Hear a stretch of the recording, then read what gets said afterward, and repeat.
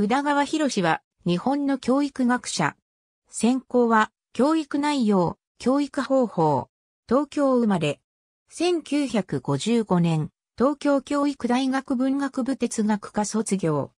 日本福祉大学社会福祉学部教授、教育科学研究会常任委員、全国民主主義教育研究会副会長、教育委員の区民投票を成功させる中野区民連絡会会長。現代哲学の理論を踏まえて、道徳を意味の問題であると捉え、その立場から道徳と道徳教育の本質、内容、方法の検討を試みることが道徳教育の研究に必要であると提示した。教育と福祉の制度間接続について研究した。道徳教育、社会科教育、生活指導に関する提言を行った。教育科学研究会の機関紙、教育、全国民主主義教育研究会の機関紙、未来を開く教育への寄稿者となった。また、東京都中野区の教育委員校先生に中野区民として関与した。さらに、身体運動にかかる健康教育、健康に関する学習について、デイリー体操の実践を追求した。道徳教育は、子供の道徳性と、その中軸をなす人間的価値意識の形成を中心的課題とする。それを学校の教育活動の全体を通じて、どのように展開するかが、これからの道徳教育の探求的課題となるだろう、と1980年代の初めに指摘した。また、1980年代までの研究成果として、道徳の授業の成立条件を5つに集約した。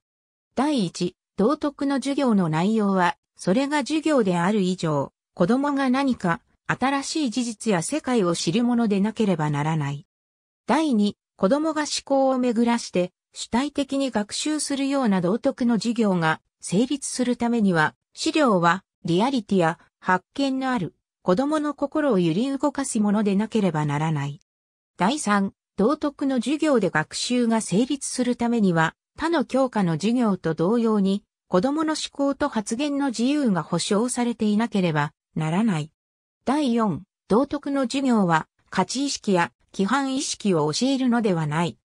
第5、第1から第4までのことにより、道徳の授業が成立するのだとすれば、道徳の授業の目標、内容、方法を教師が自由に工夫できる、教育の自由が必要になる。